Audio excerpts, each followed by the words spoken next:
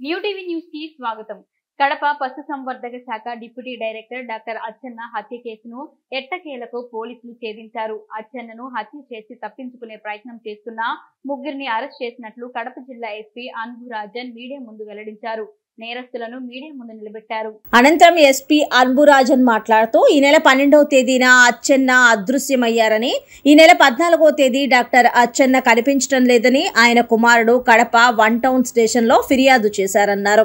ఇరవై నాలుగో తేదీ అన్నమయ్య జిల్లా రామాపురం గువ్వల చెరువు ఘాట్ రోడ్లో గుర్తు తెలియని వ్యక్తి మృతదేహం లభ్యమైందన్నారు. ఇదే శాఖలో పనిచేస్తున్న అసిస్టెంట్ డైరెక్టర్ సుభాష్ చంద్రబోస్ హతమార్చినట్లు విచారణలో వెల్లడైందన్నారు. డ్యూటీ విషయంలో శాఖ పరంగా ఇద్దరి మధ్య ఉన్న తీవ్రమైన మనస్పర్ధలో వివాదాలే హత్యకు కారణమని ఎస్బి అన్బురాజన్ వెల్లడించారు. పశుసంవర్ధక శాఖలో పనిచేస్తున్న కొంతమంది ఉద్యోగుల జీతాలు సిఎఫ్ఎంఎస్ ఎఫ్ఆర్ఎస్ సిస్టమ్ నుంచి డాక్టర్ అచ్చెన్న తొలగించారని విచారణలో నిందితులు వెల్లడించారన్నారు. సుభాష్ చంద్రబోస్ కలసపాడు మండలం జాతివర్తిపల్లికు చెందిన చెన్నకృష్ణ గుర్రంకొండకు చెందిన బాలాజీ నాయక్లు ఈ నెల పదకొండున పొరుమామిళ్ళలోని వినాయక లాడ్జిలో కుట్ర పన్ని పన్నెండవ తేదీ కిడ్నాప్ చేసి హత్య చేశారని నిందితులు ఒప్పుకున్నారన్నారు. సీసీ కెమెరాలు మొబైల్ కాల్ డేటా ఆధారంగా విచారణ చేపట్టి హత్య కేసును ఛేదించామన్నారు. వీరే కాకుండా మరెవరైనా ఉన్నారా అన్న కోణంలో విచారిస్తున్నామన్నారు.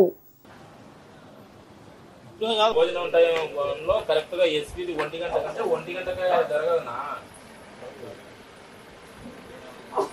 ఎన్ని గంటలు పెడదాం ఉంటావా? ఎన్ని గంటలు పెడదాం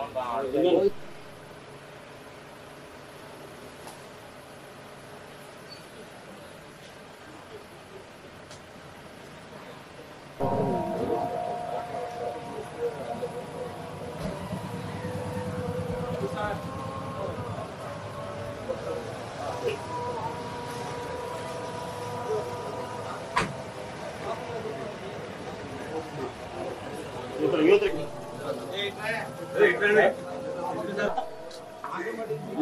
నీ కెమెరా క్లిప్పింగ్ కోసం ఈ పక్కకి రాన్నావు నేను చూసానా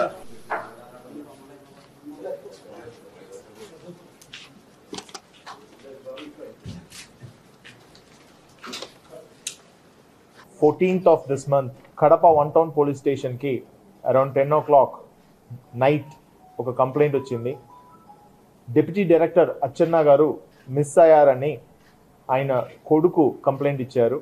వాటి మేరక complaint was taken registered on the same day. కంప్లైంట్లో twelfth నాడు ఆయన మిస్ అయినట్టు ఆ- రోజు నుంచి ఆయన కనిపించట్లేదు. ఆయన మిస్ అయినదికి కారణాలు ఐదు మంది అని చెప్పి కంప్లైంట్లో కూడా కోరడం జరిగింది. సబ్సిక్వెంట్గా ఒక మిస్సింగ్ కేసెస్లో ఏమేమి చర్యలు తీసుకోవాలో టీమ్స్ ఫామ్ చేసి